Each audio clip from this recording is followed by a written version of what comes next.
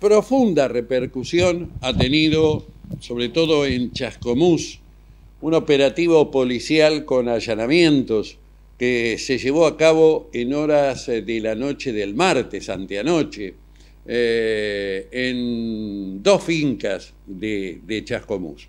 La investigación la inició el comando de la patrulla rural de General Paz, que desde hace más o menos un mes está a cargo del oficial principal Diego Garra, y que hizo un trabajo extraordinario junto con todo su equipo de la patrulla rural, y que eh, a raíz de la faena de cuatro vacunos que ocurrió, debe haber sido la noche del viernes al sábado, del jueves al viernes, en un campo que está ubicado en el camino limítrofe entre General Paz y Chascomús, pero jurisdicción de General Paz. Allí se fainaron cuatro vacunos. La patrulla rural está trabajando muy bien, la, patrulla de General Paz. Y antes de saludarlo al oficial Garra que está en línea, quiero decir, este, esto corre por mi cuenta, que hay un trabajo de relevamiento, de identificación, de patrullaje, que termina dando sus frutos, porque eh, la policía con su olfato, con su experiencia, cuando de pronto identifica algún vehículo y sus ocupantes, le dice, ¿qué anda haciendo por acá? rápidamente olfatean cuando alguien puede andar haciendo lo que se, dice eh, el trabajo de campo preparando algún, algún este, ilícito producido el ilícito y recibida la denuncia, por allí este trabajo da sus frutos. Y me parece que algo de eso fue el inicio de esta investigación que finalmente llevó al oficial Garra a pedir con los elementos necesarios las órdenes de allanamiento de dos domicilios en Chascomús, cosa que se llevó a cabo el martes y cuál fue el resultado lo va a contar él. Oficial Garra, Rubén Martínez lo saluda, buen día, gracias por atenderme. ¿eh? Rubén, Rubén, muy buenos días para usted y toda la audiencia. Mucho gusto. Bueno, eh, he dicho más o menos bien hace alrededor de un mes que está a cargo del CPR de... del CPR. Efectivamente, efectivamente. Hace un mes que estoy a cargo de la, del CPR de acá de, de, Rancho, de General Paz. Vengo oriundo de, del CPR de General Belgrano. Así que bueno, eh, hace sí apenas un mes que estoy a cargo la semana pasada nos ingresó una denuncia por la faena de cuatro animales, todos vaquillonas, ahí justo en el límite con, con Chascomús, en la bajada de Ferrante y de Ruta 20. Así que en forma inmediata eh, empezamos las tareas investigativas inherentes al esclarecimiento del hecho.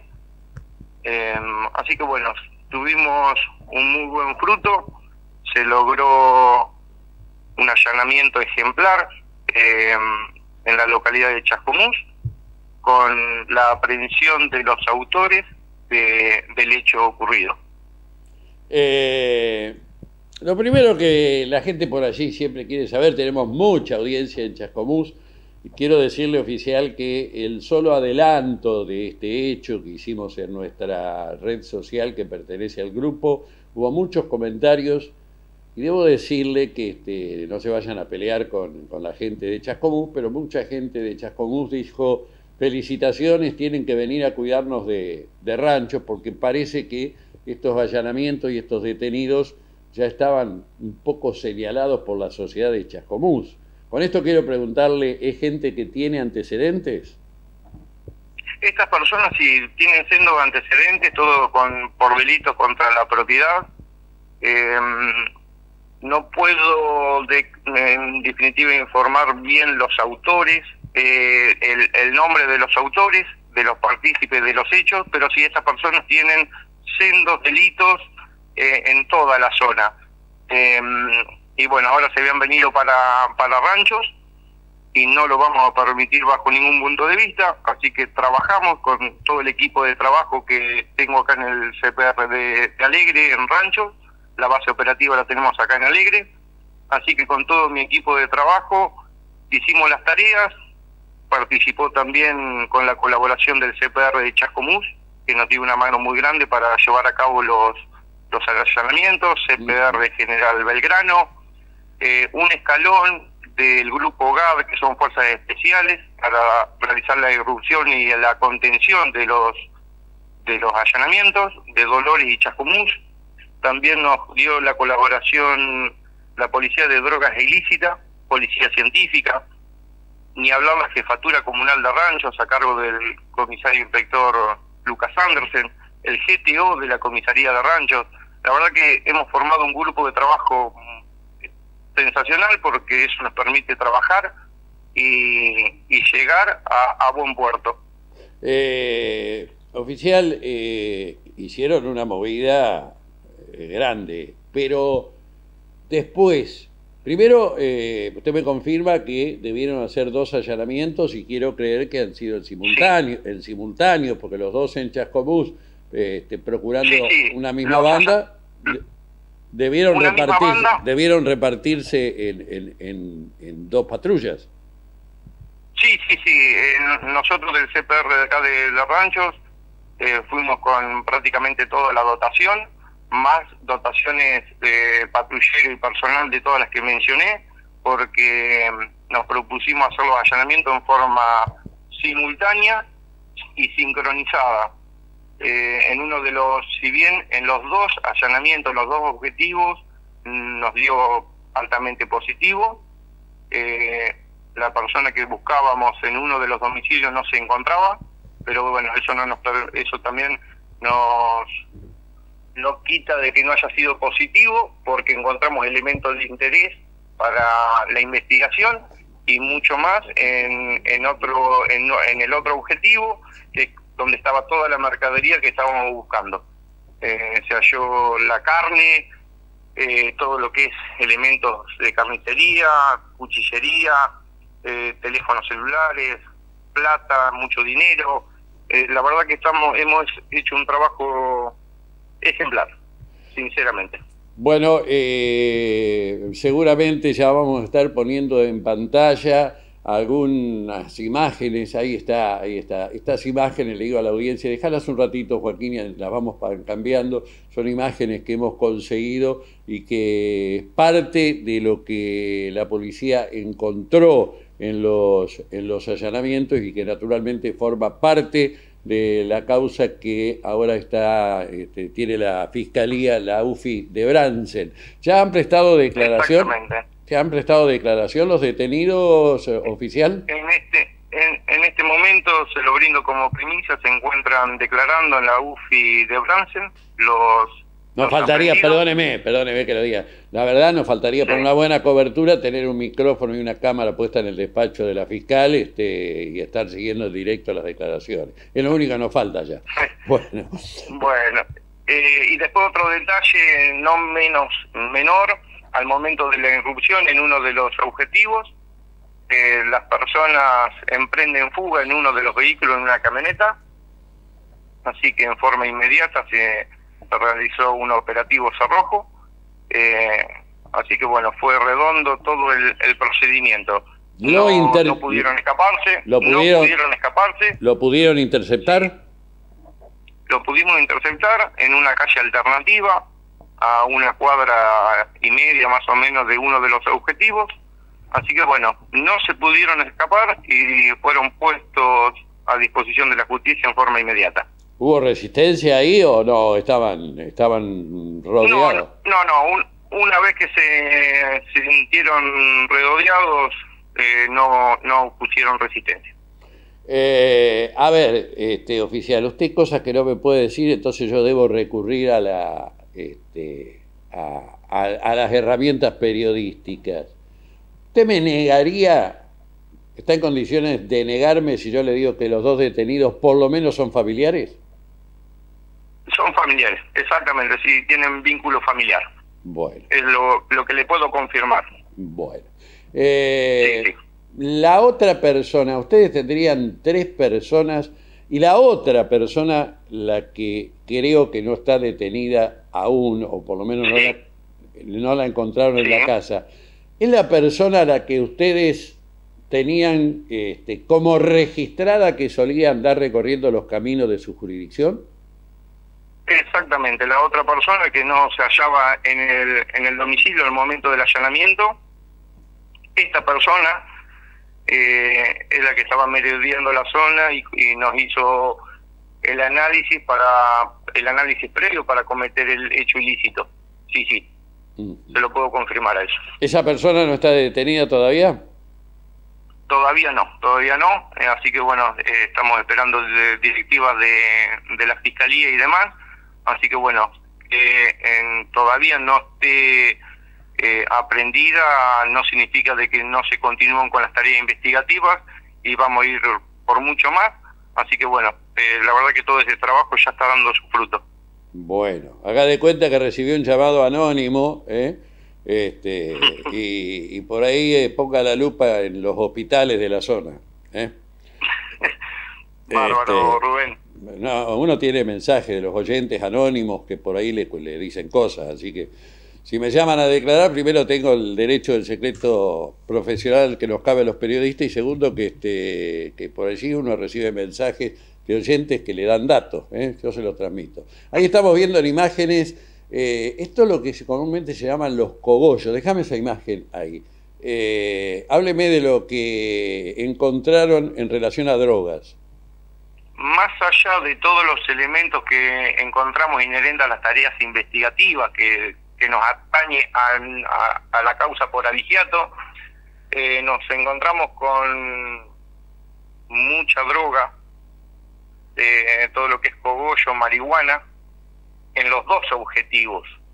Y eh, ah, en los dos. Estaba fraccionado en los dos objetivos. En los dos objetivos encontramos droga, marihuana, ya fraccionada, inclusive todo en frascos de tipo de marmelada, frasco de vidrio, que se inicia paralelamente ahora investigaciones a cargo de la Fiscalía de Estupefacientes, ya del Departamento Judicial Dolores, por el lugar de donde fue hallada toda esta droga.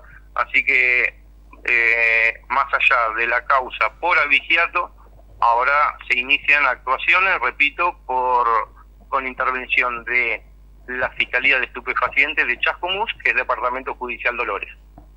Eh, oficial, eh, entre los antecedentes que se le adjudican a estos detenidos, ¿hay alguna relación con un hecho bastante importante que se realizó hace no, que, que tuvo lugar en la zona rural de Chascomús no hace mucho tiempo con una importante cantidad de, de ovinos, de ovejas? Yo no se lo puedo confirmar, eh, Rubén, eso. Eh, yo me aboqué, por supuesto, a las tareas investigativas de la causa que diera motivo a, nuestro avigiato, pero a raíz, a raíz de toda esta investigación y ya puestos eh, a disposición de la justicia de los aprendidos, por supuesto de que la justicia encontró eh, otras circunstancias que atañen a otro departamento judicial. ¿Qué Dolores? Eh, rancho de Dolores, claro, del departamento judicial Dolores. Y se están desmembrando otras investigaciones en forma paralela. Así que la verdad que hemos destapado un, una gran olla. Le cuento que estamos poniendo en imágenes otra foto. Eh, es tremenda la cantidad de esto, esto que se llama cogollo, ¿esto es la sustancia que se manda a la cocina, a las cocinas? Eh, claro, eh, de, ese tema la, la, policía especializada es la DDA, drogas ilícitas. eh, toda esta mercadería, por supuesto, ya va a ser... Es una enorme, eh, le, digo, oficial, usted no lo está viendo por ahí, pero hay eh, primero hay unos frascos grandes, ese frasco este, a mí me encanta. Es el fraccionamiento. Es el fraccionamiento que realizan eh, la marihuana para posteriormente venderla. Pero, pero la cantidad es importante. Es importante. tenemos, hemos secuestrado una cantidad importante de marihuana, sí. Le pregunto, oficial, este, sin necesidad que me dé este, precisiones, eh, los operativos Ahí tenemos algún, algún video también de los, patrulleros. Eh, los, Al menos uno de los operativos este, no fue hecho en, en la zona urbana, urbana, sino eh, más, más en la zona de Quintas. Sí, eh, uno de los allanamientos fue en el barrio 30 de Mayo y el otro mm, eh, el otro objetivo fue cercano a la ruta cercano a la ruta 2 cercano a la ruta 2 sí. Ajá, bueno. cercano a la ruta 2 exactamente. Hay algún video que te vamos a poner ahí que muestran por lo menos este, el accionar de los del personal digo a veces oficial los ciudadanos los que y los que no sabemos mucho de esto creemos que eh, en algún allanamiento en algún operativo este, como estamos viendo ahora allí, eh, se exagera la presencia de móviles y de efectivos policiales. Pero cuando después ocurren estas cosas, que hay que ir a hacer dos operativos, dos allanamientos a la vez, y supongo que por allí se pueden encontrar en un allanamiento con alguna novedad que le comunican a la fiscal y por ahí la fiscal les dice este, vayan por eso también y alguien intenta darse a la fuga y entonces este, hay que perseguir a algunos y hay que quedarse otros en el lugar. Digo, eh, estas son las cuestiones por las cuales nunca es demasiado lo que se lleva un operativo de este tipo. Tal cual, tal cual. Eh, yo le quiero hablar, Rubén, y a toda la audiencia puntualmente por este procedimiento que, hemos hecho eh, con la colaboración, porque de esto se trata, de trabajar en equipo. Y si no, si no trabajamos en equipo no hubiese salido tan perfecto todo el, procedimiento que hemos llevado a cabo. Eh, con, con todas las dependencias policiales vecinas y con las que mencioné, es que logramos, es que logramos eh, llevar adelante la manda judicial del juzgado de, garantías de La Plata. Así que bueno, la verdad que estamos muy contentos, les repito, y, siempre trabajando en equipo. Eh, oficial, bueno, eh, reitero, este, hay incluso algún comentario en nuestros adelantos informativos que tiene que ver con allegados a, a los damnificados, a las víctimas, que elogian gran procedimiento policial, dice. Eh, usted, naturalmente, este, por razones de la causa, debe haber estado en contacto con el damnificado, los damnificados, este, ¿cómo reaccionaron ellos? Eh, bien, la verdad que cuando me comuniqué telefónicamente con el damnificado, en el cual le di la noticia de que habíamos logrado individualizar los autores del hecho se puso muy contento, la verdad es que tuvo una satisfacción muy grande porque justamente el día que nos denuncia el hecho era el día del cumpleaños, así que no era un muy buen regalo lo que él estaba teniendo. Y sobre todo también eh, la impotencia de que se le habían metido dentro del campo con un vehículo eh, le, le, causaba al damnificado un dolor muy grande, más allá de, los animales puntualmente que le habían faenado. Así que bueno, eh, si un poquito pudimos darle la satisfacción de demostrar de que de, de quiénes eran los autores, eh, el señor damnificado estaba muy muy agradecido. ¿Qué hacía esta gente? Este, ¿Alguno de ellos estaba relacionado con alguna carnicería? Algo digo los, los detenidos. Porque esta carne, ¿dónde la colocaban? Eh, Rubén, eh, eso, esa parte prefiero abstenerme porque se continúan las tareas investigativas. Le soy sincero. Eh, ¿Podría aparecer algún otro involucrado, aunque sea por encubrimiento? Sí, sí, sí, por supuesto que sí. Por supuesto que sí. Bueno, este, hasta aquí ha sido amplísima la, información oficial. Eh, aprovecho la oportunidad de dialogar para preguntarle, los otros días tuvimos una amplia nota con el comisario inspector Lucas Andersen, este, también la tuvimos con el gerente de la cooperativa de electricidad por el tema, esta modalidad de los robos de los transformadores de electricidad. Sí. Este, y sé que eh, les cabe a usted de la jurisdicción, porque generalmente lo hacen en zona eh, que pertenece al Comando de Patrulla Rural. Simplemente no le voy a pedir ningún tipo de adelanto, pero están, dígame simplemente esto, ¿están trabajando muy fuertemente en ese tema? Sí, Rubén, eso se lo voy a confirmar. Muy fuerte, estamos haciendo un trabajo en conjunto con la Jefatura Comunal de Ranchos a la cabeza del comisario inspector Lucas Anderson, así que estamos haciendo un trabajo en conjunto en pos de los esclarecimientos de ese tipo de delitos. Oficial Diego Garra, ¿hay alguna cosa que no le pregunté y que quiera, este, que quiera señalarle a la comunidad? Eh, por allí es bueno recordar este, algún número de, teléfono del Comando de Patrulla Rural este, para que se comuniquen los, la, gente del campo. Bueno, lo que usted quiera que le parezca útil en el cierre de la nota es todo suyo. Bueno, muchas gracias Rubén y a toda la audiencia. Más que nada quiero agradecer a, la bienvenida que me han dado muchos vecinos, la comunidad toda. Eh, estoy a, disposición. Eh, me encuentran en, eh, en, la dependencia acá en Alegre, Paraje Alegre, Partido General Paz, tanto a mí como a todo mi equipo de trabajo. Así que abiertas las puertas para inquietudes y, y que todo sume para el trabajo. Oficial, muchísimas gracias por esta, por esta atención y felicitaciones por el operativo a usted y a todos los que integran el equipo de la patrulla, del Comando de Patrulla Rural. Han hecho un trabajo impecable y esto reconforta y este, prestigia y, por allí va en respuesta a, a aquellos vecinos que nunca faltamos, que en las redes sociales suelen decir, y seguimos igual, la policía total no hace, no hace nada, la policía no hace nada y la policía no hace nada. Y digo, este, en, en pocos días nos ha tocado informar, en el caso de General Paz, de una importante, de una moto bastante importante que se recuperó hace cuatro o cinco días, robada aquí en el, en el ejido urbano. Eh, el comisario Lucas Andersen tuvo activa participación colaborando en la investigación de una camioneta robada en Bransen, que fue recuperada hace dos semanas y que usted debe conocer.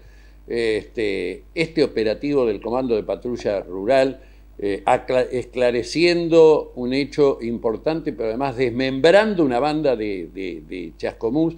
Digo, aquellos que siguen escribiendo por allí la policía no hace nada tendrán que repensar lo suyo, no estoy diciendo con esto que todo alcance, que todo sea perfecto, no estoy desconociendo la, realidad delictiva y de inseguridad del país, pero créame, oficial, que este, ustedes también merecen alguna palabra de reconocimiento para contrarrestar por allí tanta pálida que no me parece justa en la mayoría de los casos. ¿eh?